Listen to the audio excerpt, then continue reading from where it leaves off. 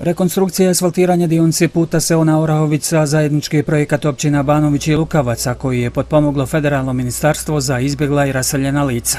Navedena dionca duga je 3800 metara i ona će se raditi u tri faze. Već su završeni radovi na prvoj fazi. Prva faza obuhvata dužinu 2300 metara, ukupne vrijednosti 300.000 maraka, s tim što se ovdje radi o međuopštinskom projektu, znači projektu općine Banović i općine Lukavac, koji je potpomognut Federalnim ministarstvom za izbjegla i raseljena lica.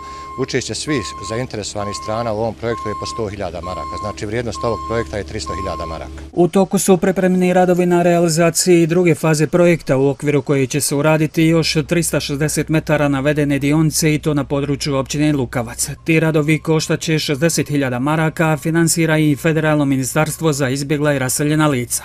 Treća posljednja faza projekta trebala bi biti završena u narednoj godini. U sljedećoj godini, kako je sam federalni ministar nagovijestio, znači realizirat će se treća faza, tako da će ovaj put ukupne dužine 3800 metara u potpunosti biti završen. Ove dvije povratničke mjesne zajednice će biti spojene, naši građani će dobiti bolju komunikaciju sa Tuzlanskim kantonom i sve prednosti što je donosi ovakva jedna putna komunikacija. Izgradnjom puta se ona Orahovica u značajnom mjeri skratit će se vrijeme putovanja mještana Banovićkih mjesnih zajednica Seona Aljković i Pribitkovići prema Lukavcu i Tuzli, što je od velikog značaja za mještane ovih mjesta. Što mi napravimo do Banovića, toliko nam je kraći put ovdale do Lukavca.